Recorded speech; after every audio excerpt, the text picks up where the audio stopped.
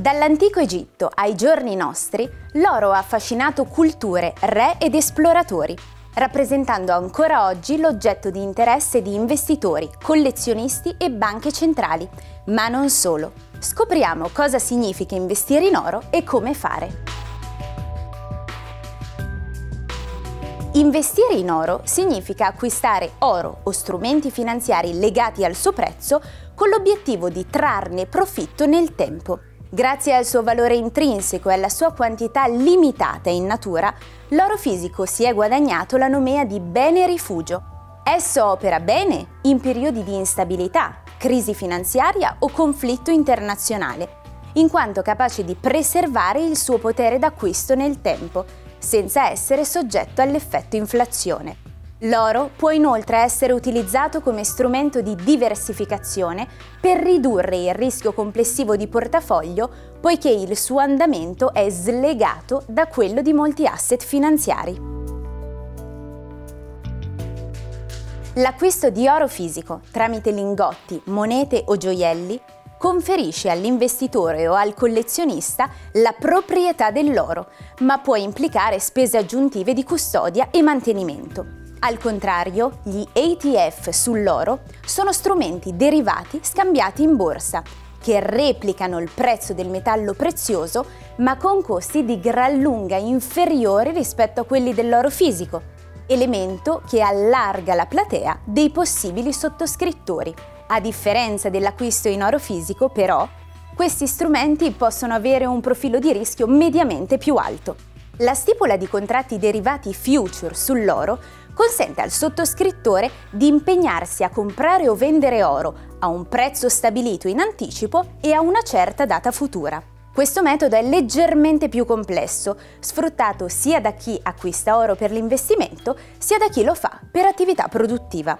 Ancora, i certificati di deposito sull'oro sono titoli che attestano la proprietà virtuale dell'investitore, senza che quest'ultimo lo debba possedere fisicamente. Ogni certificato rappresenta una quantità specifica di oro, detenuta nei cavò di una banca o di un depositario, di cui va sempre verificata la solidità.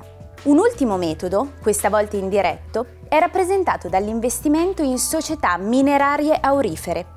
In questo caso gli investitori acquistano azioni di società coinvolte nell'estrazione e nella produzione di oro, partecipando all'andamento del loro business. Il prezzo dell'oro è influenzato anzitutto dalle dinamiche di domanda e offerta. La domanda di oro può provenire da investitori, industrie o banche centrali che utilizzano l'oro fisico come riserva, mentre l'offerta è determinata anzitutto dalla produzione mineraria e dalla vendita delle banche centrali, che dispongono di quantitativi sufficienti per muovere il mercato. A influenzare il prezzo dell'oro e quello di ogni altra materia prima e poi la forza del dollaro statunitense, valuta nella quale sono quotate le principali materie prime sul mercato. Quando il dollaro è debole, l'oro diventa meno caro e più accessibile, e viceversa. Anche i tassi di interesse possono influenzare indirettamente il prezzo dell'oro. Quando i tassi sono più alti, l'oro tende a diventare meno attraente, in quanto non genera flussi di reddito come dividendi o interessi. Offre invece un'opportunità di apprezzamento quando i tassi, e quindi i rendimenti del mercato, sono bassi o in calo. Oltre al suo utilizzo come asset da investimento, il prezzo dell'oro è fortemente impattato dalla domanda orafa e dalla produzione di gioielli, ma anche dall'elettronica. Il metallo prezioso è infatti dotato di eccezionale conduttività, resistenza alla corrosione e al calore, un materiale ideale per la produzione di fili, cavi e connettori. A titolo d'esempio, uno smartphone contiene fino a 40 mg di oro. È importante notare che l'investimento in oro comporta anche dei rischi che si legano alle possibili fluttuazioni e alla volatilità del suo prezzo.